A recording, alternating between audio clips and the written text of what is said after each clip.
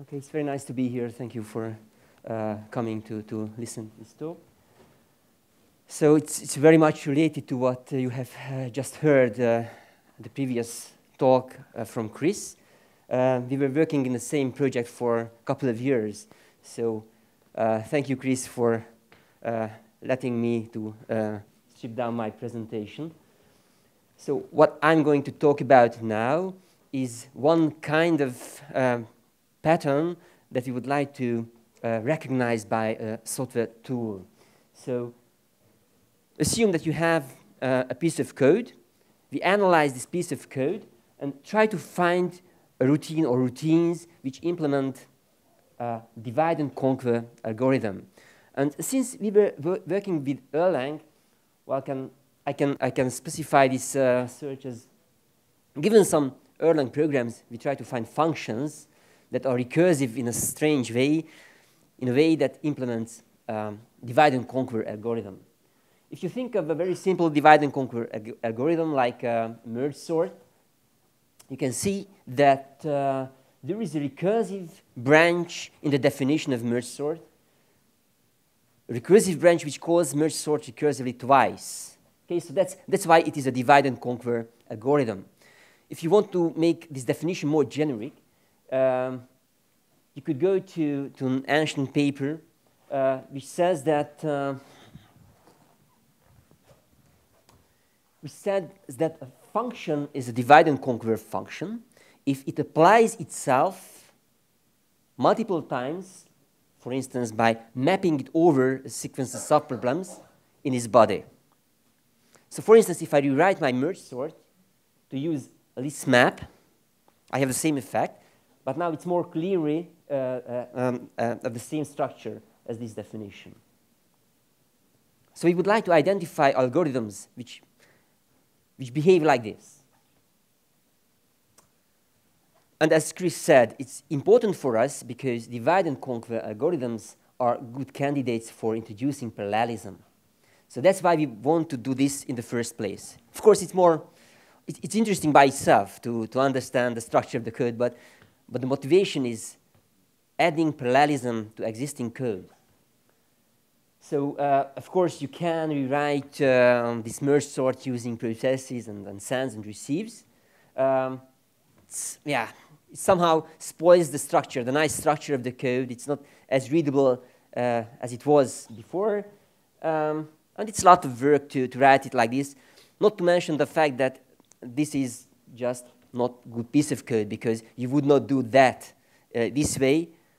This just splits down the problem to two small pieces. So if, in fact, if you want to have parallelism, then you have to find the right granularity of work.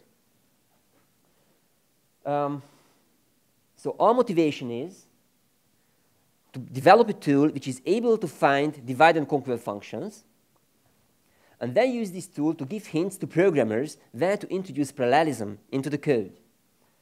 And then, if this tool exists, we can use this tool to perform the refactorings that actually take those pattern candidates and transform, uh, transform them into instances uh, algorithmic skeletons.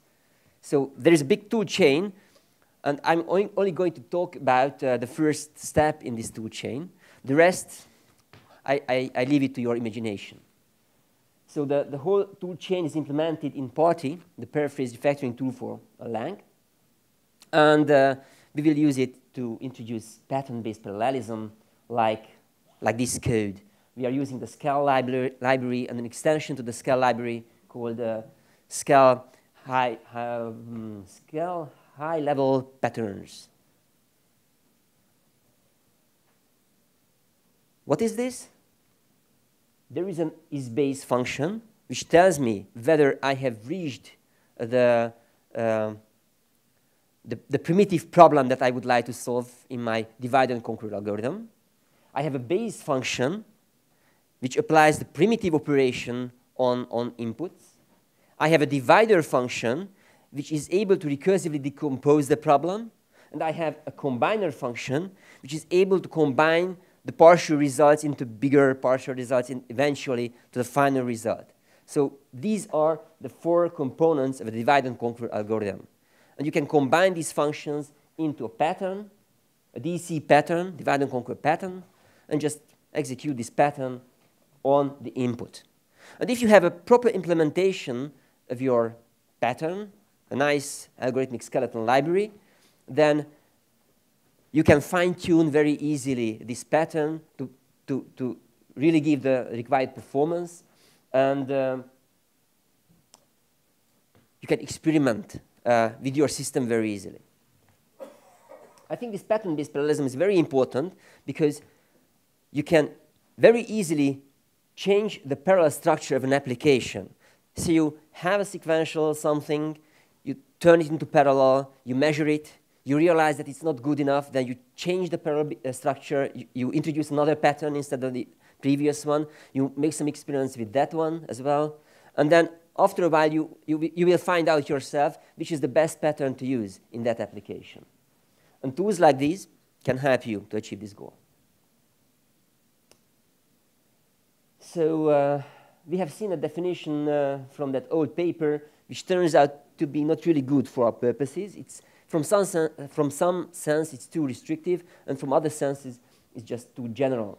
So we have a very stupid own definition uh, a function implements a divide and conquer algorithm if it triggers multiple independent recursive calls. Okay, what, what does this mean? In this merge sort, in the body of merge sort, I directly call merge sort twice, and these two calls have arguments, L1 and L2, which do not depend on each other.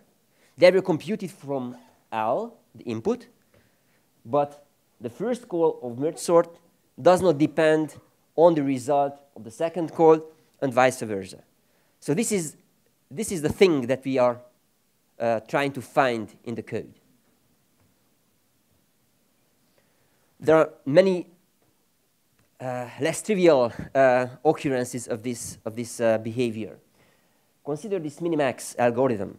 I have an mmmax function which calls mmmin, and then I have mmmin, which calls mmmax. So these, these are mutually recursive. But uh, the story is the same. mmmax calls mmmin multiple times because this call occurs in the head of a list comprehension. And mmmin calls mmmax. So actually, the call of mmmax triggered multiple calls of itself indirectly. And of course, you can check that these calls are independent. Or you can have um, another structure. You have a, a, a bucket sort here.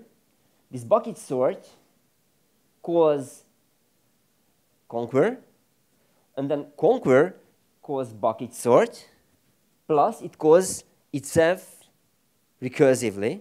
And this recursive call will call again bucket sort, and again, and again, and again. So actually, if you investigate what happens here, is the same. You have a function, bucket sort, which calls itself repeatedly with uh, independent parameters. You can write it more nicely, but the story is again the same. Bucket sort calls itself in the head of a list comprehension. Again, it calls itself on, uh, multiple times with independent inputs. So, so this, this is the structure we would like to identify in the source code, in, in Erlang source code, using static uh, source code analysis. There are some standard things that we build, like a control flow graph, data flow graph. It's like the textbook uh, on static analysis. If you don't know too much about these, uh, these are actually decorated uh, abstract syntax trees containing extra information, semantic information on, on how the evaluation order uh, can be described in our program or what kind of values flow into what kind of variables. Um, these are all inter-procedural uh, analysis because we want to find non-trivial pattern candidates as well, like the minimax algorithm, where there's no direct recursion but the structure is there. Uh, in higher order language, of course, you need higher order analysis, which may require multiple passes of, uh, of these uh, analyses. So if you really want to find many candidates, you have to provide enough time for the tour. There are some, uh, some extras for some extra analysis for guaranteeing that the code can be transformed into a parallel pattern. Uh, I'm not going to talk uh, about that today. Uh, I'm going to focus on uh, this point, the analysis of, of the recursive structure of, uh, of the functions. So, for instance, if you look at this merge sort, um, we can draw this nice picture. Here we start the execution of merge sort. Uh, there are two execution paths, the first line and the second line in the definition, which are very easy path. But most interesting path is the, the, third, um, the third clause of the function, which calls the length function. It does something, returns. Then we call the list split function, then it returns. Then we call merge sort recursively. So we go back to here start merge sort. And then this start will eventually end. So we go here.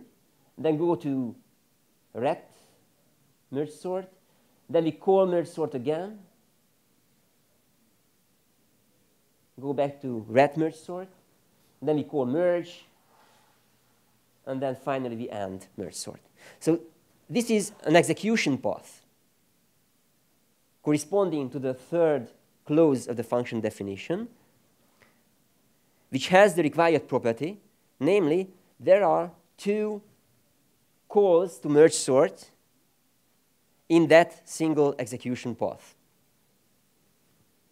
And now we should, of course, check whether these calls have independent uh, parameters. But let's not deal uh, with this at the moment. You can have uh, a, a, similar picture for, for the bucket sort. Again, you start bucket sort. Let's take the third clause.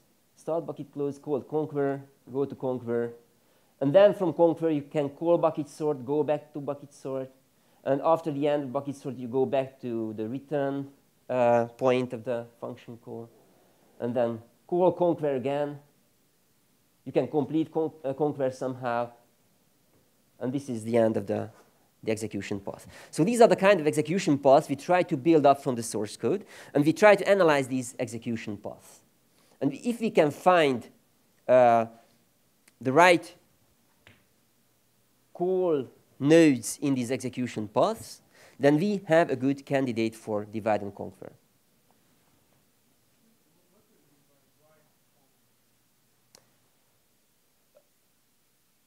Uh, you mean, uh, sorry?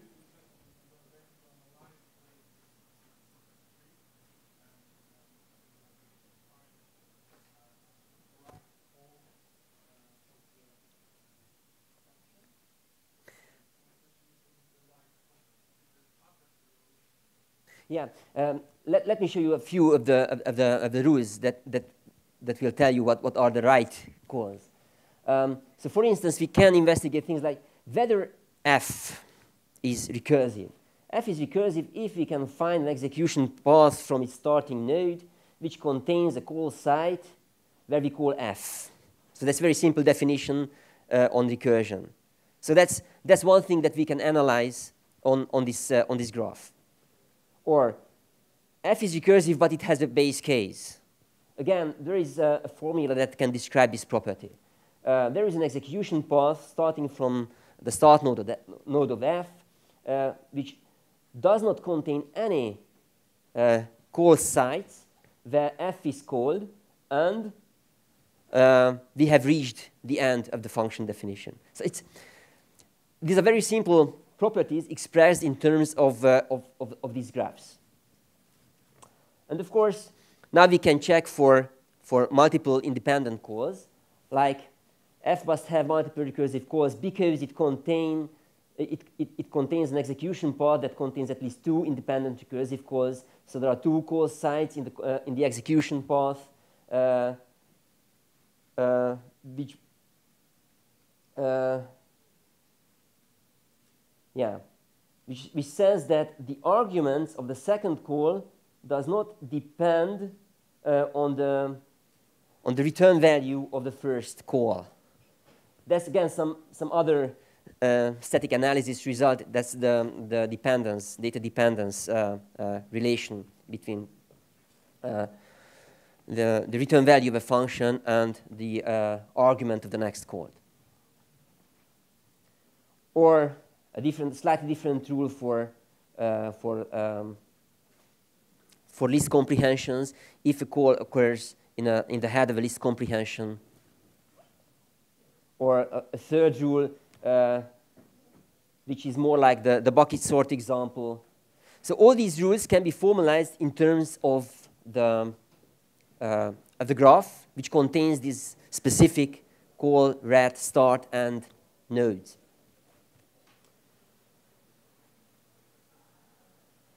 It turns out that the analysis using uh, these uh, execution path definitions are rather slow. So if you have enough time, of course, you can run these uh, analyses. But for many practical uh, algorithms, uh, we could identify a, much faster algorithm to find divide and conquers. Uh, it's not as precise as the previous analysis, but in practice it works quite well. So this uh, analysis says that if you, if you can find a function which calls another function which is recursive but calls back to the first function, then this f can be regarded as a divide and conquer. Of course, again, some uh, further analysis on the independence of the core uh, parameters um, have to be carried out. So we try to apply these analyses on, uh, on some example codes, like very simple, well-known divide and conquer algorithms. And um, we try to run the analysis on, on real-world code as well. Uh, we took the Mnesia uh, implementation, uh, which, which is about 1.5 uh, thousand uh, um, function definitions.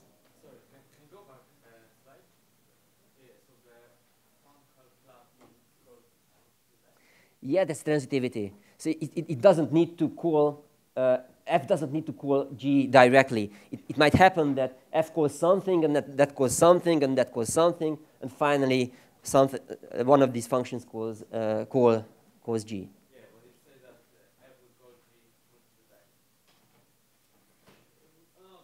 F, no, F would call G on some execution path once, but then G would call itself recursively, and in each recursive call of, of, of G, there would be a function call back to F.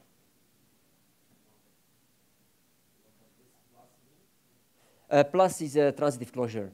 So uh, the, the, the, the fun correlation is just one call, but if you, uh, you, you can uh, you can have here a function calling another one, which calls another one, which calls another one.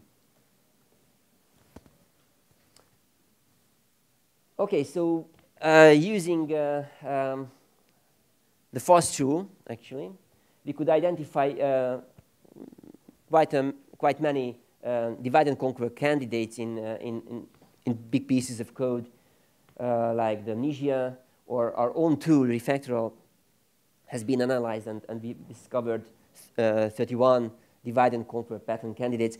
We have investigated these pattern candidates.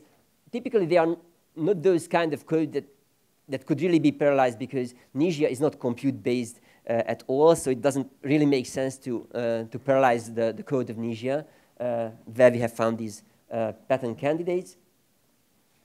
But, uh, but in fact, this, this, this shows the, the applicability of the approach.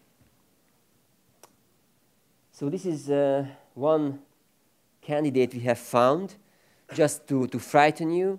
Uh, I, it took me about half an hour to understand why our tool has identified uh, this uh, particular candidate. So it's not, it's not uh, visible at the first glance. If you go closer, you, you will see that there is this function which calls another function which calls the first one and calls itself recursively. So this is what uh, the tool has identified. Okay, so this is really not trivial uh, occurrence of the divide and conquer pattern. Yes?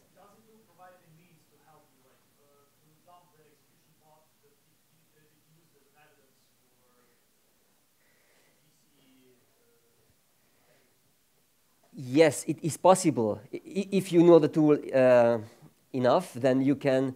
Uh, th there is a, command line uh, uh interface to the, tool which is able to do that for you, but it's not the, the typical uh, user uh, interface for, for the tool. I, I need, really need to, to stop my talk, so let, me, let me just do the summary. So what I was talking about is a, a tool, the PaRTE tool, which has lots of nice facilities, but one important facility for, for this talk is that it is able to identify um, divide and conquer pattern candidates. And this way, we can use this tool to hint the programmers where to introduce this divide and conquer uh, pattern. And this analysis worked on, um, on uh, the recursion structure of the, uh, of the code. It tried to identify certain recursive structures in the code. And uh, the fast algorithm turned out to be really useful, and, uh, and, and, we have applied it on, on real-world code and, and just performed really well. Okay, thank you.